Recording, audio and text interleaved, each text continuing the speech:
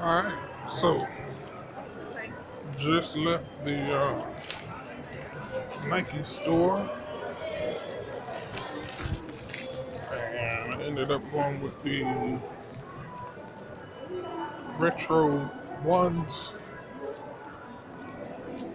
And let's see what we got here.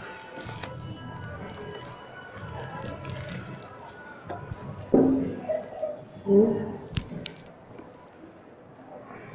them right there.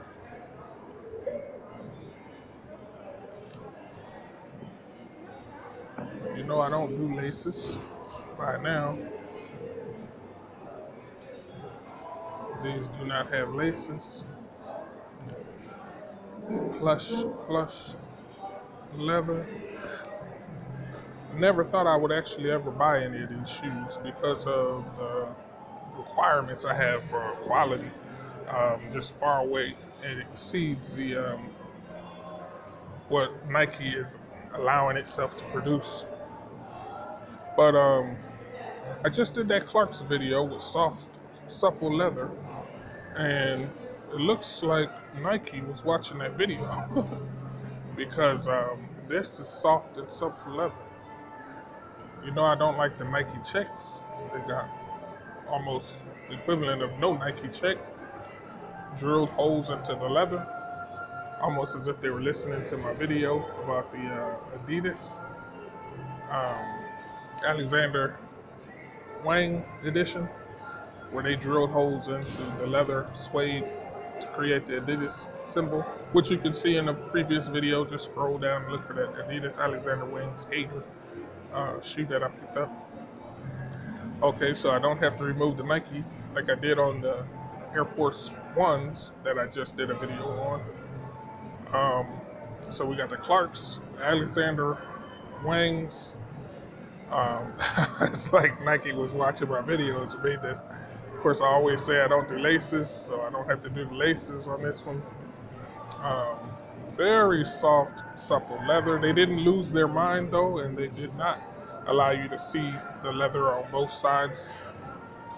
Obviously, they blocked it with the um, this liner.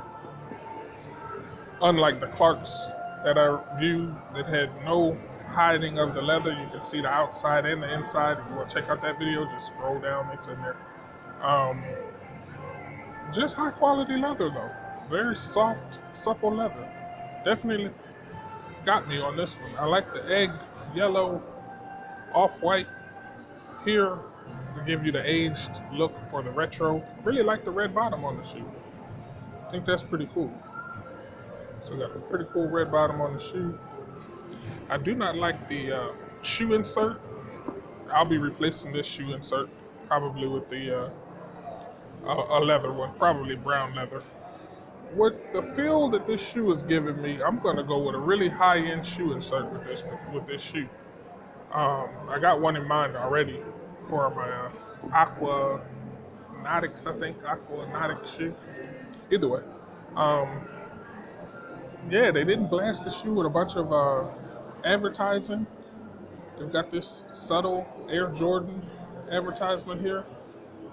Very subtle, very discreet, very soft leather. Can't say that enough. Um, I went into the Finish Line store and I felt a bunch of different Jordan 1s in there. They probably got about 12 on the wall. And after filling those uh, what they love to call uh, tumbled leather, which is not tumbled leather. It's just very bizarre look-alike for tumbled leather. Um, they're hard as a brick, um, which is, defeats the purpose of even calling it tumbled leather. But uh, either way, this I, ha- I, had to go once I went into the finish line and felt all of those uh, Jordan One retros.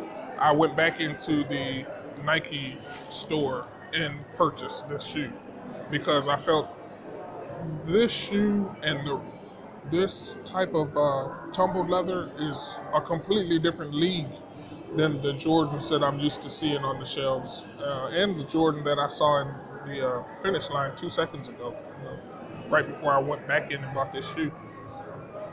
So uh, yeah, this is definitely extremely soft, supple leather and uh, definitely got my money on that one. I can't really complain on what Nike did with this shoe. Just uh, definitely to give this insole some quality.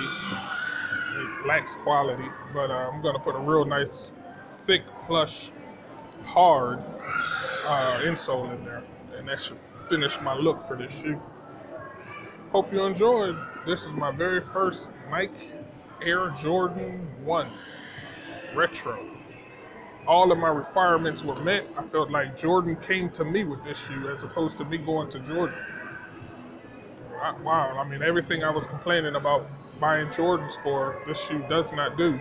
So, uh, you win. They got my money on this one, and I got a great deal because it was in the, uh, not the outlet store, but the factory store. I think they call that a factory store, not the outlet store. All right. Thanks for watching. Hope you enjoyed. This is Watch and Shoes. The watch is the Invicta with the meteorite face from Africa. Meteorite landed in Africa. It has a day date and it's a carbon watch. Carbon fiber sheets used to make this watch. Very durable. It also has a chrono feature. Screw down crown as well. Thanks for watching. Hope you enjoyed another episode of Watch N Shoes. See you on the next one.